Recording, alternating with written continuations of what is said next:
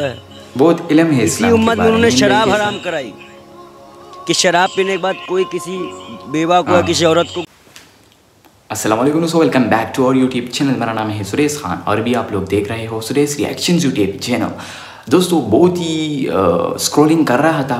मतलब social media पर मैं बहुत सारी वीडियोस देखता हूँ टिकटॉक पर देखता हूँ यूट्यूब फेसबुक तो मैं मेरे सामने एक वीडियो आई।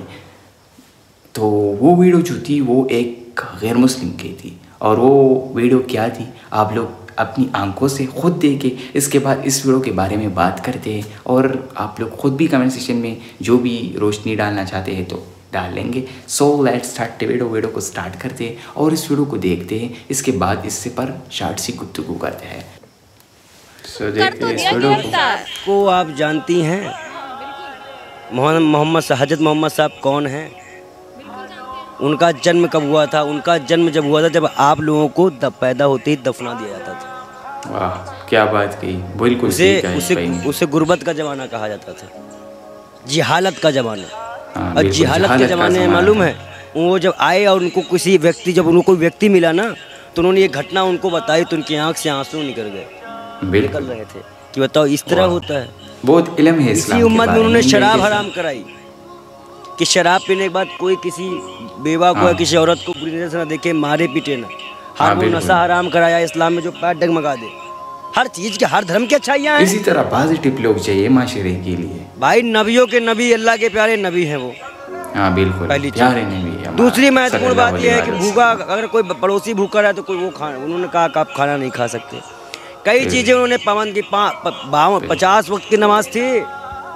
पचास वक्त के पाँच वक्त की नमाज़ हजूर साहब से अल्लाह हाँ, पाक के मीटिंग करके 50 वक्त की, उन्होंने। फिर वक्त थे पर्दे में उनसे बातचीत होती थी। मैं प्यारे नबी थे। हाँ। और एक चीज़ मैं और बता दूँ उनकी बेटी को लेकर। उन्होंने अपनी बेटी की शादी कोई बहुत बड़े घराने में नहीं की थी। हाँ। एक गरीब के घर में की थी। सैयद फातिमा उनकी बेटी जो भी बातें कही अली हुसैन उनके ने हैं। ये क्या बताएँगे? ये पढ़े हैं। कुरान पढ़ते हैं पंडित जी पढ़िए। कुरान भी पढ़ते हैं। तो गैस, इस वीडियो को देखने के बाद मेरा जो कॉमन सेंस कह रहा है, वो ये है कि आप लोगों ने देखा होगा सोशल मीडिया पर। बहुत सारे लोग इंडियन लोग, पाकिस्तानी लोग, चाहे मुस्लिम और गैर मुस्लिम लोग लड़ते रहते हैं कि आप ये है, आप ये है, वगैरह मतलब नफरत नेगेटिविटी फैलाते रहते हैं। लेकिन अगर इसी तरह लोग, इस पंडित की तरह लोग, ये भाई जो है, जो दूसरे मज़हब को इज़्ज़त देना चाहते हैं, मैंने मैं रिएक्शन क्यों कर रहा हूँ इस वीडियो पर? इसी, इस वीडियो के बारे में मैं बोल क्यों रहा हूँ? इतना टाइम क्यों दे रहा हूँ इस वीडियो को? इसलिए कि पॉजिटिविटी फैला रही है, जो कि इज़्ज़त देना चाहते हैं, जो कि मैं खुद मुस्लिम हूँ। तो मैं मैं, इस भाई ने हमें इज़्ज़त दी हमारे मज़हब को तो मेरे लिए दिल में इनके लिए इज़्ज़त बढ़ गया। तो इसी तरह अगर हम माशरे में ऐसे लोग बढ़ जाए इसी तरह के लोग मुस्लिम में भी है, गैर मुस्लिम में भी है तो ऐसे लोग होने चाहिए माशरे के लिए जो एक दूसरे को इज़्ज़त देना जानते हो, जो एक दूसरे के माशरे को, एक दूसरे की कंट्रीज़ को, एक दूसरे के मज़हब को इज़्ज़त देना जानते हो और वो लोग बहुत कम है। आप लोगों ने देखा होगा कि गैर मुस्लिम मुस्लिम चलते, लड़ते आ रहे हैं, उनके दादा वगैरह वगैरह। कुछ हासिल भी नहीं होता। क्यों लड़ते? एक दूसरे को गालियाँ देते, वगैरह वगैरह, क्या कुछ नहीं कहते।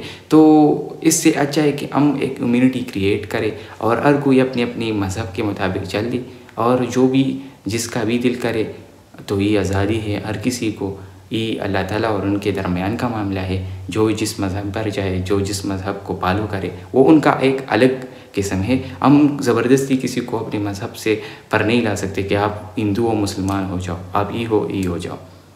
लेकिन अगर अल्लाह चाहे जिसको हिदायत दे, वो आ सकते हैं। मगर मतलब वो अलग बात है। लेकिन अगर हम एक दूसरे की मज़हब को इज़्ज़त दे और उनके मज़हब को हम जितना इज़्ज़त देंगे तो वो हमारे मज़हब को इज़्ज़त देंगे। तो इसी तरह एक माशरा जो है अच्छा माशरा क्रिएट होगा भाई भाई होगे और सब अच्छा माहौल होगा। तो कितनी ज़बरदस्त बात है ना कि आप लोग इसी तरह की ट्राई करें और इस तरह लोग बन जाए, जिस तरह ई भाई है। तो बहुत अच्छी बात ही कही। सच्चाई भी बातों में थी बहुत और बहुत ही कुछ इलम भी था। मोहम्मद सल्लल्लाहु अलैहि वसल्लम के बारे में बहुत इलम था इन भाई को। तो मैं ऐसे ऐसे लोगों पर फ़ख्र करता हूँ। मैं इंसानियत को भी देखता हूँ कि यार, ये इंसान है। इसने एक मज़हब के बारे में पॉजिटिव बातें कही तो बहुत ही अच्छी बात है। माशाल्लाह, अल्लाह ताला आपको हिदायत दे। तो आखिर में बस इतना कहना चाहता हूँ कि आप लोग जहाँ भी हो, खुश रहो, आबाद रहो, एक दूसरे को इज़्ज़त दे। इन गालियों से, इन नफ़रतों से कुछ नहीं होता, कुछ नहीं बनता। तो आप लोगों को चाहिए कि एक ऐसा माशरा क्रिएट करे। पॉजिटिविटी स्प्रिट करे। अगर आप लोगों पर कोई गम है, फ़िक्र है, दर्द है तो वो आप लोग दूसरे को दे गाली देने से, दूसरे को पीटने से, दूसरों को बुरा भला कहने से, वो आप लोग अपने आप से दूर तो नहीं कर सकते। लेकिन अगर आप लोग एक दूसरे को इज़्ज़त देंगे और वो आपको इज़्ज़त देंगे तो वो आपकी, वो खुशी एक अलग किस्म की होती है। तो आप लोग ऐसा ट्राई करें। तो इन बहुत जल्द एक अच्छा माशरा क्रिएट होगा, एक अच्छी दुनिया में सब एक दूसरे को इज़्ज़त देंगे। तो आप लोग आज से ख़ुद को बदले तो ये दुनिया बदलेगी, हर कोई अपने आप को बदले तो ये दुनिया बदलेगी। तो मैं कहूँगा कि यार मैं नहीं बदलूँगा बहुत सारे लोग हैं, कौन किस किस को बदलाएँगे? यार ये तो सब ऐसे है। तो पहले हम अपने आप पर ट्रे करेंगे। मैं ख़ुद पर करूँगा, आप अपने आप पर करें। तो इसी तरह ये माशरा बदला, बदलेगा और इन ज़रूर बदलेगा। और आखिर में बस इतना कहना चाहता हूँ कि आप लोग हमारी चैनल को सब्सक्राइब करो, लाइक करो, इस वीडियो को शेयर करो कि लोग मेरे इस मैसेज को फॉलो करें और एक दूसरे को इज़्ज़त दें और ये गाली वगैरह ये सब दूर करें अपने आप से। तो जहाँ भी